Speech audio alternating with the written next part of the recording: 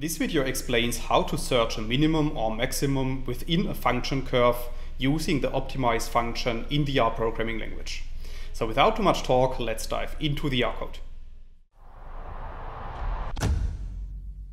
In this video I will show you an example and this example is based on the user-defined function that we can create with lines 2 to 4 of the code.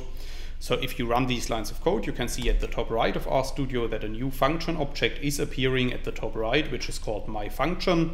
And within this function, we are performing a calculation based on the input value x. So let's assume that we want to find a minimum or maximum value between a certain interval in this function.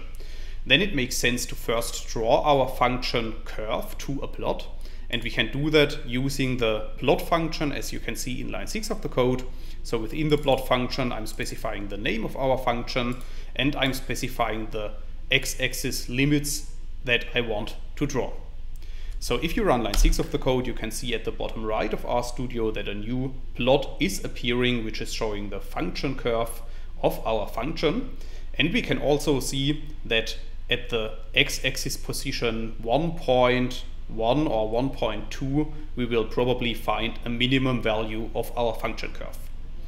So in order to get the result for this more systematically, we can use the optimize function, as you can see in lines 8 and 9. So within the optimize function, we need to specify the name of our function that we want to evaluate. So in this case, the function that we want to use is called my function.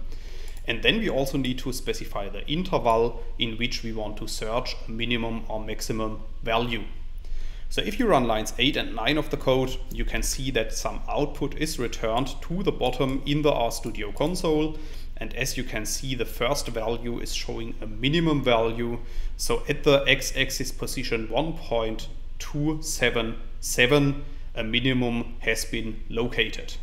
And this also corresponds to the visualization that we have done before, because we already knew that at this point a minimum is appearing. That's all I wanted to explain in this video.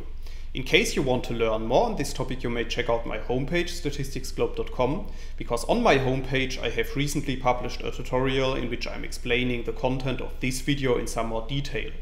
I will put a link to this tutorial into the description of the video so you can find it there. If you have liked this video or if you have any questions, let me know in the comments section below. I'll try to respond to all comments as soon as I can. Furthermore, make sure to subscribe to my YouTube channel to get notified about future video releases. I have already published about 500 videos on this channel and I'm releasing new videos on a daily basis.